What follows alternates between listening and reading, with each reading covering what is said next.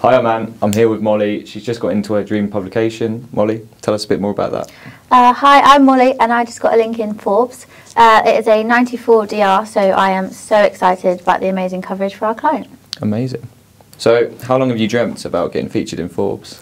Well, uh, in November of last year, our media team asked us what our dream publications were, and mine was Forbes. So it's taken me four months now to get in, and uh, yeah, super pleased.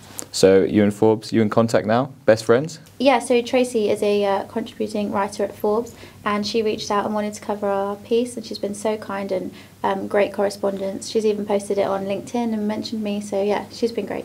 Amazing. And do you think that relationship will continue further in the future with more PR material coming from you? Yeah, I hope so. Um, she mainly writes about happiness and things and lifestyle, so I think that's such a positive thing that I'd um, like to write more about, really. So hopefully I can reach out to her and she'll cover that in the future. Amazing. Tell us a bit more about the campaign that got you into Forbes. Uh, so the campaign was to determine the happiest states in the US, and how we did this was using the OECD Better Life Index, which is an index that determines different factors that people um, value for their well-being. Okay. So I ranked those. Well, the index ranks those for you, and then I took those factors such as like health, education, things like that, and applied those to statistics in each of the states in the U.S. And it turns out that North Dakota is the happiest state in the U.S.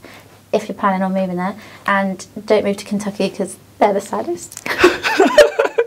Tell us a bit more about how you went to distribute that press release. Um, so the I found the data actually quite a challenge because it was such a big data set. Um, but with the help of our head of PR, Andrew, he uh, kindly helped me um, sort it all out and then I wrote it up in a press release and distributed it to loads and loads of journalists um, because we needed to do it regionally for every state in the US. Uh, we also sent it to UK Press just in case they were interested in that. It's also got some great links and placements on loads of other sites. It's also on MSN, which I'm really pleased about. Um, last Thursday, Tracy said that she was going to publish it on Forbes, but she was going to post it on the Sunday edition. So I was patiently waiting all weekend, refreshing the page and telling my parents about it all the time. And then luckily I got to see it this morning, so I was so happy coming into work. Congratulations for getting a new dream publication. Thank you very much. I need a new dream publication now.